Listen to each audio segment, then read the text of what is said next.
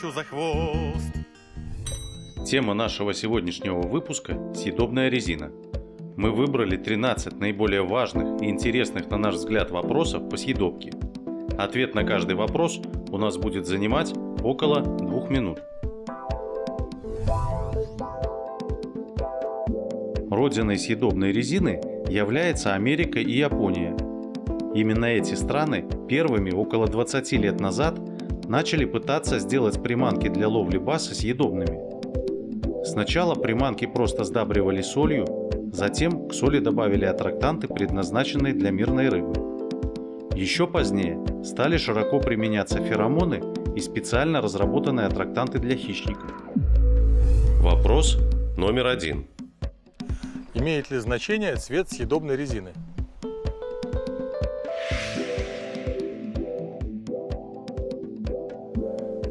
Съедобная резина, помимо вкуса и запаха, имеет еще и варианты расцветок. И как ни странно, несмотря на то, что данные приманки съедобные, тем не менее цвет оказывает очень большое влияние на то, атакует рыба приманку или не атакует. Дело в том, что очень важное значение имеет мутность воды. Если мы ловим на водоеме с прозрачной водой, где рыба может очень тщательно присмотреться к деталям, то, конечно, приманки, которые имеют натуральную расцветку, а, как правило, в природе все животные, все насекомые, они, как правило, темного цвета. Ну, по крайней мере, те, которыми можно питаться, потому что, как правило, яркие насекомые и животные, они ядовитые. Поэтому, в общем-то, натуральная расцветка – это безопасная расцветка, и поэтому любой хищник ее не, не боится атаковать. Другой вопрос, увидит ли он ее в, в мутной воде, например. Поэтому как бы все расцветки можно разделить на провоцирующие, это вот которые яркие, флуоресцентные, кислотные так называемые, и натуральные расцветки, которые более похожи на живые микроорганизмы. Так оказывается, что в большинстве своем, если вода чистая, вне конкуренции работают именно, именно натуральные расцветки. Рыба подходит на короткое расстояние, видит цвет приманки. Он не вызывает у нее подозрения. Она слышит запах, и когда она атакует приманку, она слышит ее вкус. И в результате случается у нас поклевка, которая приводит к удачной подсечке. Поэтому если приманка съедобная и еще правильно попала в расцветку, то это очень и очень хорошо. Вопрос номер два. В чем различие между обычными силиконовыми приманками и съедобной резиной? Если сравнить, например, два твистера, но один будет изготовлен из обычного силикона, а другой из съедобной резины, то при условии, что данные приманки играют одинаково, на съедобный твистер поклевок и удачных засечек будет гораздо больше. Почему? Потому что хищная рыба имеет возможность подойти на запах к приманке, попробовать приманку и почувствовать, что эта приманка съедобная. В результате съедобная резина оказывает гораздо больший эффект на рыбу, чем обычная приманка. Обычная приманка привлекает рыбу игрой, и когда она ее атакует, она в этот момент, когда хватает в пасть, может распознать подвох, и в результате случаются пустые поклевки. Съедобная резина, если ее рыба схватила, она, как правило, ее уже не бросает. Поэтому, в принципе, нельзя сказать однозначно, что, например, съедобная резина всегда лучше, чем обычный силикон, потому что если мы, например, возьмем съедобную резину пассивную и активный силикон, несъедобный. Но в данный момент рыба активна. Конечно, на обычный силикон с активным элементом вы поймаете рыбы больше. А если сравнивать именно более корректно, сравнивать приманки однотипные, то, естественно, всегда на съедобную приманку поклевок и результативных подсечек будет больше. Вопрос номер три. Всегда ли есть преимущество съедобной резины перед обычными силиконовыми приманками?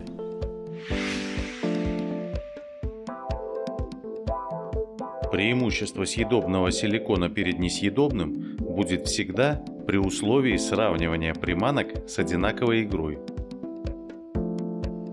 Поэтому, если сравнивать съедобные приманки и обычные силиконовые приманки, то у съедобных приманок будет преимущество в том, что рыба их атакует чаще, удерживает в пасти дольше и практически никогда не бросает.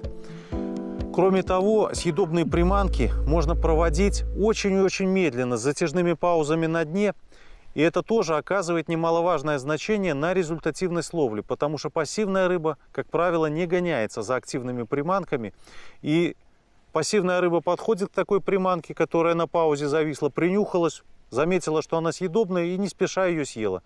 Поэтому съедобные приманки в любом случае всегда имеют преимущество перед обычным силиконом. Чем ближе хищная рыба приближается к съедобной приманке, тем большее значение на нее начинает оказывать запах, вкус и натуральность.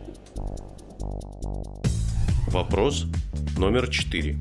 Почему некоторые съедобные приманки пахнут сильно, а другие почти не пахнут, но при этом тоже считаются съедобными?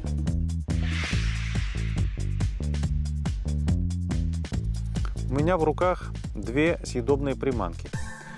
Разница этих приманок лишь в том, что одна из них пахнет очень сильно и довольно-таки противно, а вторая еле-еле уловимый запах имеет. И запах довольно-таки приятный.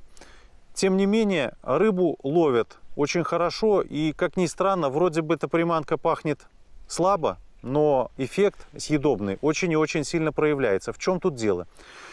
Есть э, приманки, которые пахнут сильно, и они имитируют какие-то живые организмы. И на белковые элементы, то есть они пахнут естественным каким-то кормом. А есть приманки на основе феромонов. Аттрактант на основе феромонов. Так этот аттрактант, он практически для человеческого нюха он не оказывает никакого влияния. То есть он не сильный, вроде бы слабый, но работает очень и очень хорошо. Поэтому не стоит бояться приманок, которые практически не пахнут. Кроме того, есть еще приманки, которые имеют различные варианты запахов. И чеснок, и анис. И в принципе очень важно, помимо того, что взять, подобрать съедобную приманку по цвету, еще очень важно попасть в запах и попасть в размер. Если все это совпадает, то, конечно, съедобные приманки начинают творить чудеса. Вопрос номер пять. В чем причина того, что многие съедобные приманки не имеют игровых элементов, то есть, по сути, являются пассивными приманками?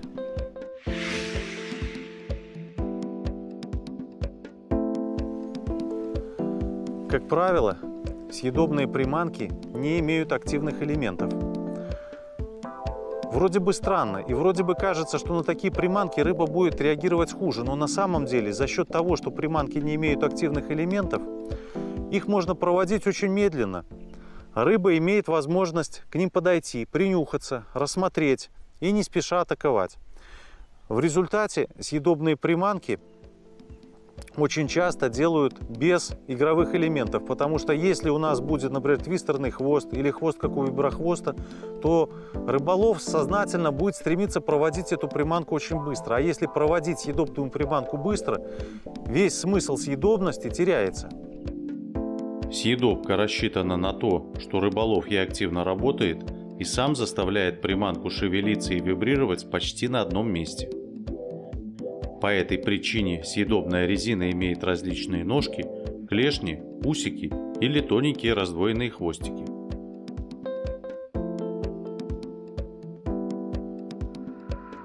Съедобные приманки очень часто имитируют червей, всевозможных мальков рыб без активных хвостовых элементов, раков. Причем раки разных видов. Есть раки с активными твистерными хвостами, а есть раки практически без собственной игры. И все это показывает нам, что данные приманки нужно проводить медленно. И именно в этом случае они раскроют весь свой потенциал.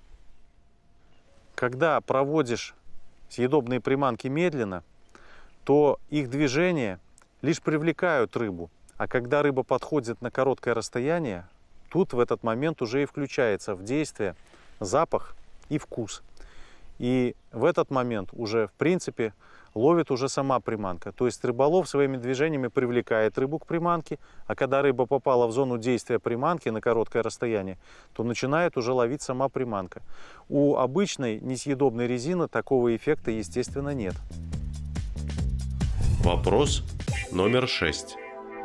Почему съедобная резина легко рвется и быстро приходит в негодность?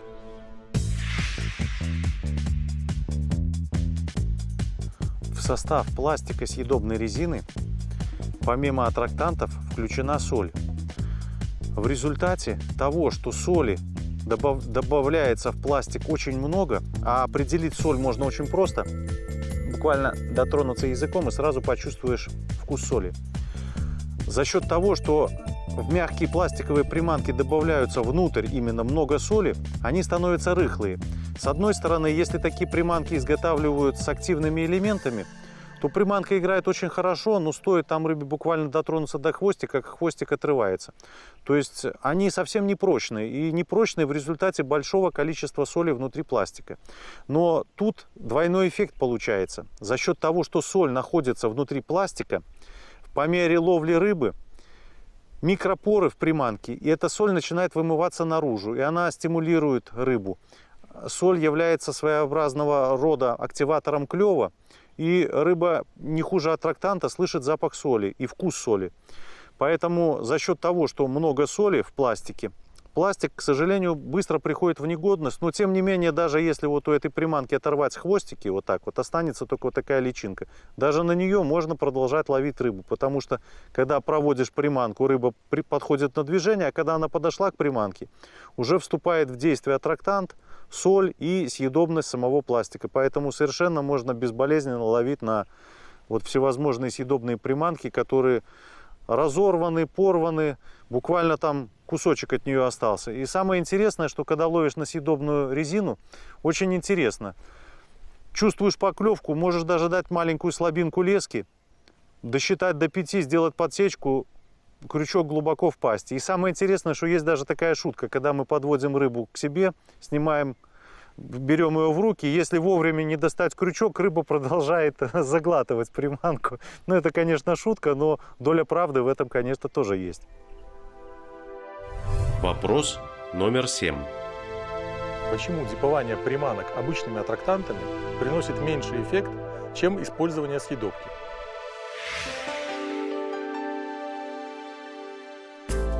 Многие фирмы, которые серьезно занимаются изготовлением съедобной резины, держат в секрете состав аттрактанта, который входит в пластик.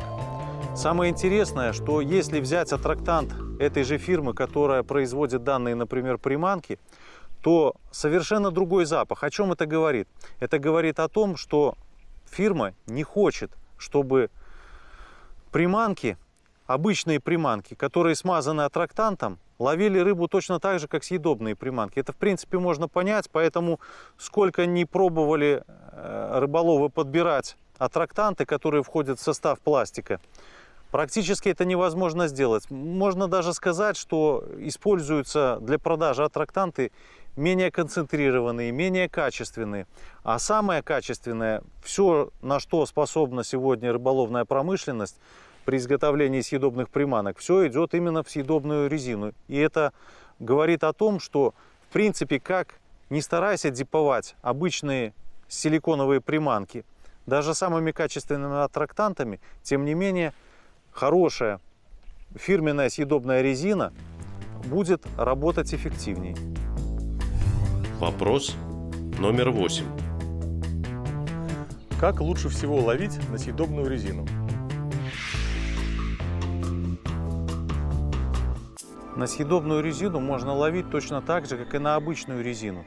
Если мы используем быструю агрессивную проводку, то рыба будет ловиться, но сказать, что на съедобную резину при быстрой проводке рыба будет ловиться лучше, чем на обычную приманку, не скажешь силиконовую, потому что приманка движется быстро, съедобная, рыба не успевает ничего понять, и мы делаем очень быструю подсечку. Но если мы вдруг переходим на ловлю с использованием очень медленных вариантов проводки, затяжные паузы на дне, шевеление, подрагивание приманки на дне, когда она лежит, и имитирует какого-то шевелящегося на дне животное, микроорганизм или насекомое. Несомненно, это работает гораздо лучше. И именно в этот момент проявляется съедобность приманок. Когда проводишь съедобную приманку деликатными рывками и предельно медленно, то она играет удивительно живо и естественно. Есть маленькая хитрость. Для того, чтобы в полной мере проявилась съедобность силиконовых приманок, очень выгодно использовать спиннинги, не стандартные спиннинги тубуляры, а спиннинги с мягкими кончиками фидерного типа, финезы. Такие спиннинги позволяют очень-очень деликатно проводить приманку, и в тот момент, когда рыба начинает клевать, этот момент успеваешь заметить и сделать паузу. И за счет этой паузы рыба начинает заглатывать приманку, заглатывать, заглатывать, и делаешь подсечку вовремя. Если реагировать на первое движение, рыба только дотронулась до приманки, мы сразу сделали подсечку, естественно, результативность ловли резко упадет. И в результате, кстати, у ваших приманок будут очень часто отрываться хвостики, лапки, усики, все, что у них есть. Э, поэтому всегда на съедобную резину очень полезно делать маленькую паузу. И если пытаться использовать обычные спиннинги и реагировать на первое же движение, то есть вы почувствовали, что рыба ударила, тут же сделали жесткую подсечку, естественно, результативность съедобной резины в этом случае будет гораздо ниже, чем нежели мы будем использовать деликатные проводки и перед подсечкой давать паузу, чтобы рыба могла попытаться проглотить данную приманку. Микроджик, поводковые оснастки, дропшот, каролина, веки – это именно те способы ловли, в которых съедобная резина оказывается на голову выше обычных силиконовых приманок. Вопрос номер девять. Съедобные приманки всем хороши, но почему они такие дорогие и недолговечные?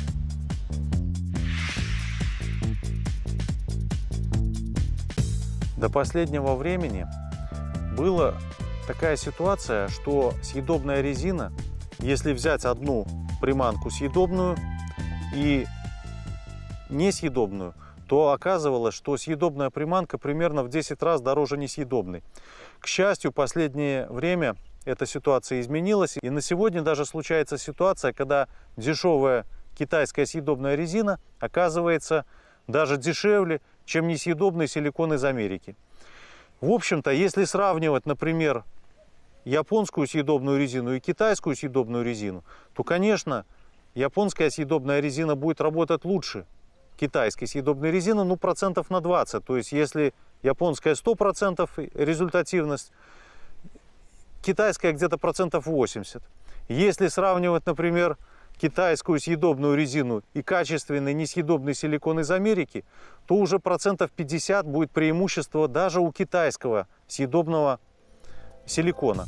Поэтому на сегодня вообще фактически нет аргументов э, для того, чтобы отказываться от использования дешевого съедобного силикона. И дешевого, и дорогого. В принципе, чем больше вариантов запахов, чем больше вариантов игры, чем больше вариантов вообще видов съедобного силикона у вас есть, тем лучше, потому что для каждого водоема нужно подобрать свою наиболее подходящую и по запаху, и по размеру, и по цвету приманку. Вопрос номер 10. Как правильно хранить съедобные приманки после их использования?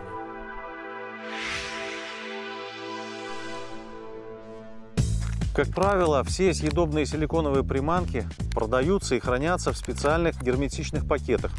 Такие пакеты плот, плотные, прочные, и они великолепно удерживают запах. Просто обалдеть. Так самое интересное, что когда мы ловим на съедобные приманки, после того, как мы половили на съедобные приманки, что с ними делать? Ни в коем случае не надо их сразу класть в ту же коробку, в которой, например, лежат обычные силиконовые приманки, потому что из э, съедобной резины тоже улетучивается запах, поэтому половили на съедобную приманку, открыли пакетик, в котором она была, и в этот же пакетик положили, даже можно с крючком, с сжиголовкой, никаких проблем. Закрыли заново плотненько пакетик. И за счет того, что она лежит в фирменной упаковке, остальные приманки имеют концентрированный запах. И этот запах опять передается на ту приманку, которую мы половили.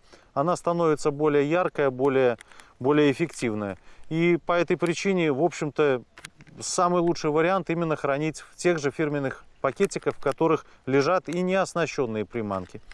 В принципе, ни в коем случае нельзя смешивать приманки разных производителей и класть их в один пакет, потому что у каждого производителя свой запах, своя формула аттрактанта, и не надо пытаться смешать эти аттрактанты, потому что результативность ловли от этого будет падать. Можно использовать и обычные пластиковые коробки с отдельными секциями и раскладывать чисто по секциям. В одной секции приманки одной фирмы, в другой секции приманки другой фирмы, но перемешивать их не нужно, потому что у них и цвет перемешивается, и запах, и вкус, и получается уже винегрет по сути. Вопрос номер 11. Почему при ловле на съедобную резину наибольшей эффективностью обладают лишь первые три заброса новой приманки из упаковки?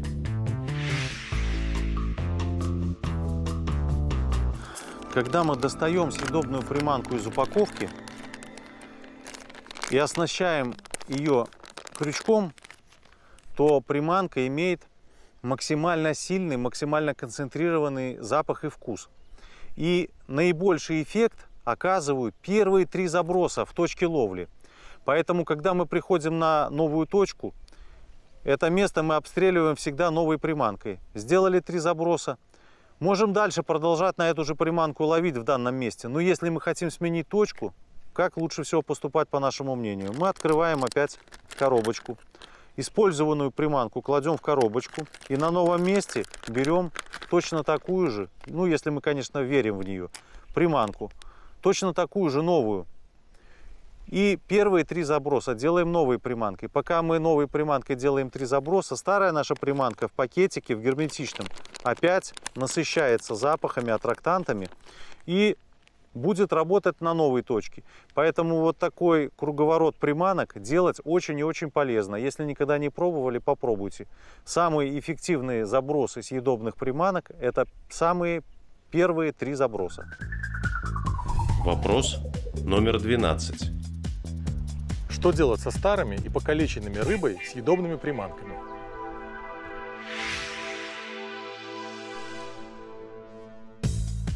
За счет того, что съедобные пластиковые приманки очень рыхлые, очень мягкие, очень нежные, они быстро приходят в негодность. Буквально несколько поклевок и приманка разорвана. Можно, конечно, продолжать ловить на покалеченную приманку, но можно такие приманки очень эффективно использовать и дальше. Если приманки с оборванными хвостиками резать на полосочки, то получаются такие съедобные червячки, которые можно очень эффективно использовать в микроджиге. Когда режешь покалеченные съедобные приманки на длинные полосочки, хорошо чувствуются кристаллы соли.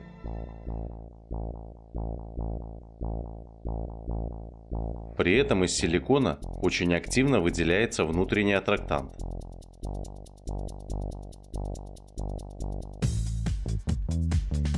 Можно также комбинировать, например, тело силиконовой приманки с поролоном. То есть мы отрезаем хвостик, который оторвали, нагреваем над свечой силиконовую приманку, приставляем к поролону, и у нас получается комбинированная приманка. То есть передняя часть съедобная, задняя часть поролон. Э, можно сделать очень эффективную незацепляйку, и эта незацепляйка будет обладать ярко выраженным съедобным эффектом. Вопрос номер 13. Какая съедобная резина на сегодня самая лучшая?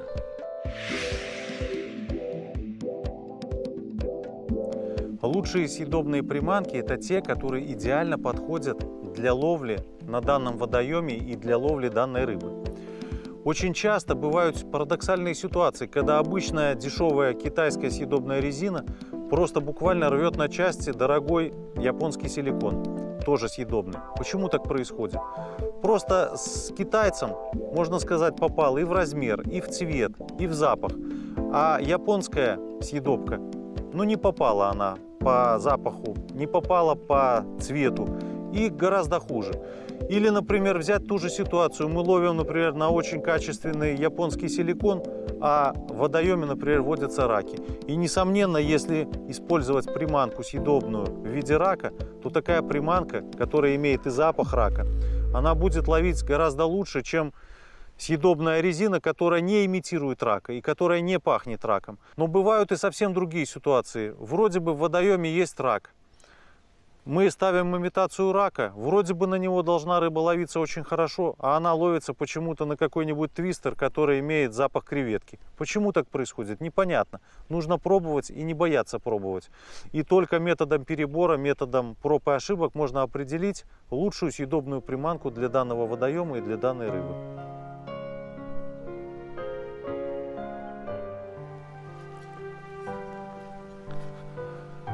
Современный рыболов обязательно должен следить за последними тенденциями в области спиннинговых приманок.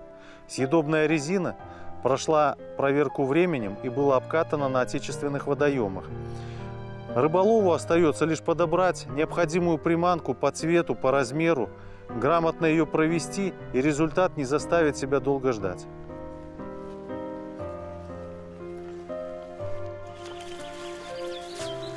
С вами была программа «Чертова дюжина» и мы ее ведущие. Дмитрий Щербаков. Владимир Щербаков.